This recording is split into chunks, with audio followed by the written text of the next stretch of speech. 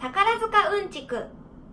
花の道近くの宝塚セルカには真実の口がある。本当の真実の口は手を入れると嘘つきは抜けなくなるという伝説があるが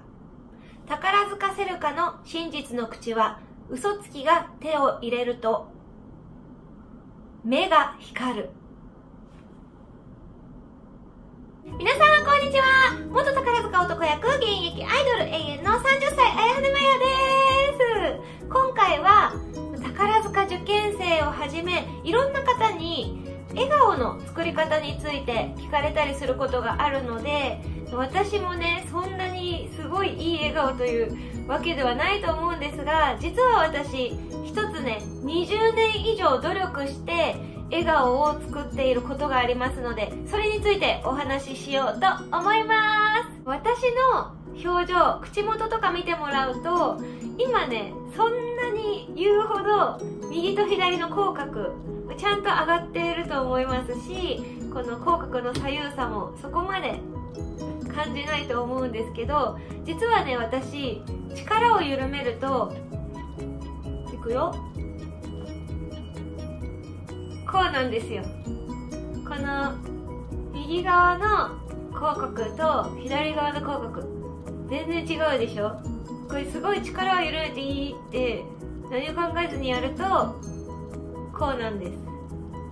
でも今はもうどこも見なくても笑顔を出したらこうできるようになりました。でこれねちょっとまあいずれかお話ししようと思ってるんですけどある理由でねめちゃくちゃ顎が歪んでます。こう私はね上を見ると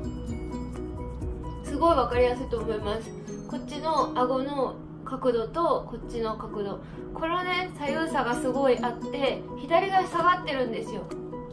だから私は右側の写真とか右側の顔の方が自分の顔が大好きで左側の顔はねちょっともたっとしてたりここの幅がね広いこととかをすごく気にしてます。でこれをね今こうやって動画で言ってしまうとみんなねそれをやっぱ見るしすごくね気に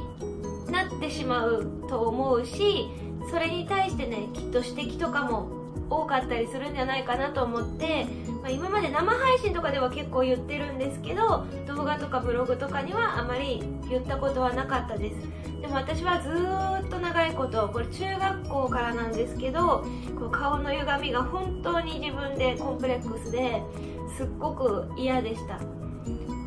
なんですけど私はなんか自分の写真を見た時にね今もね口を開けたりするとちょっと顎の歪みがあの気になったりはするんですけどもう何回も何回もね30箇所も40箇所もね小顔矯正とか頭蓋骨矯正顎関節矯正といったところにはもうずっと生き続けて実はね顎関節症でもあります。で今もね口を開けると右側のこの顎の根元がポキってなったりねするんですけど、ま、痛みは全然ありません。だからまあ大丈夫なんですけどすごく顔の歪みに関しては本当に人より気にしてね人より本当にね頑張ってそこに関してはお金をかけて直そうとしてきました。今こうやって喋っててあんまりね顔が歪んでますねとか顎がずれてますねとかあの口角が片方だけ下がってますねとか言われないのは私は20年以上ずっとその自分のこの顔の歪み口角の歪み顎の歪みを気にし続けて努力してきたことがあるからだと思っています。なので今回はすぐには改善しないかもしれないけど長期的にやっていたらきっと皆さんもコンプレックスが解消できるかもしれないというね少し希望が持てるかもしれないというお話をさせていただきたいと思います。私のこの顎の歪みっていうのはもういろんなところに行って分かったのは外からのこう施術じゃ治らないということです。もう本当に自分で変えたいのであればもう本当整形手術とか整形外科口腔外科とかでこの口の中からこの顎の骨を削るとか一回ここをね外してねずらしてはめるとかなんかそういうことをしなければ治らないということが分かりました。なので現在はもうね5年以上そういうこう顔の歪みを矯正するような場所にはまあ、あのたまにこうマッサージでヘッドマッサージとか、まあ、小顔マッサージとかあの本当に簡単な小顔矯正とかは行ったりもするんですけどもう本格的なところには行かなくなりました。中学校2年生の時に顎がねかなり歪んだんですよ。でそれも分かってるんですけど、まあ、そこまで気にしてませんでした。少しあ歪んでるなっていう感じはしたり口が開けにくいなっていう感じがしたりはしていましたけどそこまであの気にはしてなかったんです。でいつ気になったかっていうと実はね高校1年生まで気にしてませんでした。高校1年生の宝塚受験生の時に模擬試験とかで自分のね映像をね撮ってもらってで歌ってる自分を見た時にこういう感じであの全部左に引っ張られてるみたいな感じでね開いてしまっているのを見てすっごいショックを受けました。もうめちゃくちゃ自分の顔が歪んでると思ってあのー、すごくね衝撃的でそんなつもりで自分も歌ってなかったしそこに対しては言ってもそんなに鏡で見たりして気になったことがなかったのでびっくりしました。そこから私は本当に自分がそのビデオを見た瞬間から毎日毎日鏡を見ては自分の口角顎見え方をすっごく研究するようになりました。毎日毎日こう笑った時とかも自分のね口角に注目してねどのぐらいの差になってるだろうとかあのここっちで見るのがいいかこっちで見るのがいいかとかあの映像もね何回も何回も自分で確認してで意識的に自分で右側を引っ張るようにしながら喋る努力をしたりとかずっとしてました。そして宝塚に上がってからもずっとそれを気にし続けてね人知れずずっと気にし続けてであまりにもコンプレックスだから人にも言えなくて相談もできなくてでとにかくあの整体とか整骨院とかその顔の歪み矯正とかを調べてはねあの行くようになりました。で歌劇団に上がってからはよくねそのそういうところに行くようにして相談してで3ヶ月で治りますよとかこれやり続けてたら良くなりますよっていうところにねずっと通ったりしても改善されなかったです。でも自分でだんだんねこう笑い方とか喋り方とかで気にならない口の開け方を分かってくるようになりました。っていうのはもう本当にねあのすっごいコンプレックスだったのでもう家に帰って朝と夜、えー、歯磨きする時とか鏡を見る時は必ずねとか歌を歌う時も大きな口でこう歌ってそれで自分の口がどういう風に見えるのかっていうのをずっと見ながらやってたんですよね。口パクとかで。ずっとやってました。で私は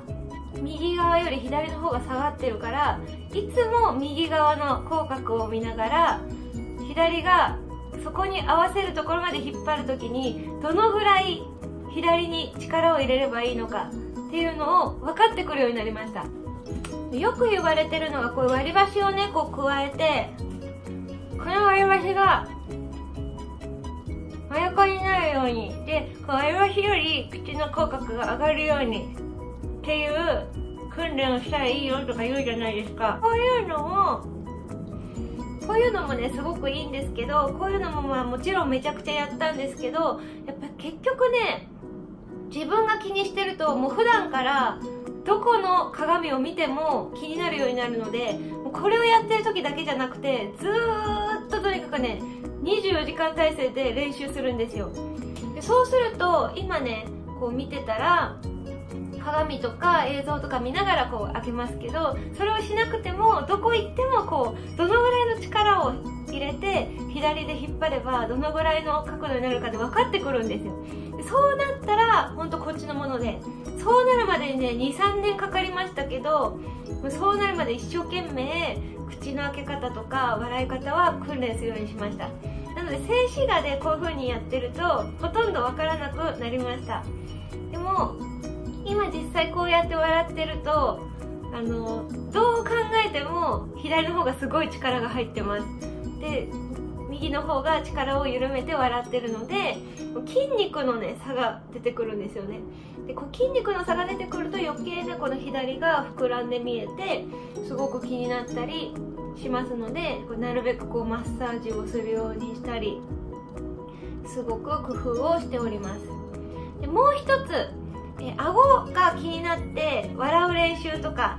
してきたって言ったんですけど笑うっていうのは口元だけじゃなくって目も必要なんですよね笑う時って。なので口を隠して笑う練習もめちゃくちゃしました。あのそれは歪みうんぬんっていうよりもその口に合わせてね口だけに目が入らないようにしっかりと顔全体で笑っているように見えるためっていう意味で私は練習をしました、えー、まず口元を隠してねこうやって練習するんですよ。口元を隠しても笑って見える目の角度。でさらにそう口元を隠して笑ってるけどこうやってこうねニコってなりすぎない練習。こう目を開いてしっかり笑っているように見える練習。を私はめちゃくちゃやりましたね。でこういう風に一生懸命やってきてやっと、まあ、顔自分の顔で堂々と笑うようになれたかなと思います。あの本当にね中学生の時の写真とか全部ね口を閉じてね笑ってるつもりでも笑えてなかったりしてたんですよね。なので口角と目で笑うっていうのを練習するのはとってもいいことだなと思いました。どれだけお化粧を一生懸命しても髪の毛をきれいにしてもおしゃれにしても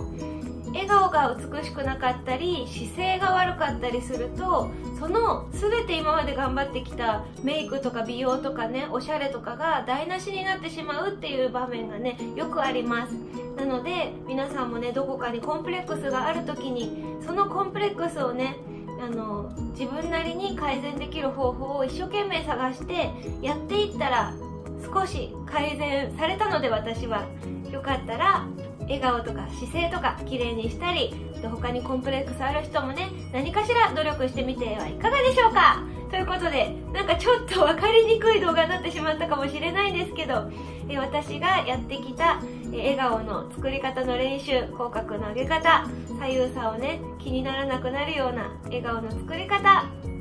お伝えしてみました。参考になったら嬉しいです。この動画が良かったと思った方はグッドボタンそしてチャンネル登録よろしくお願いします。バイバーイ。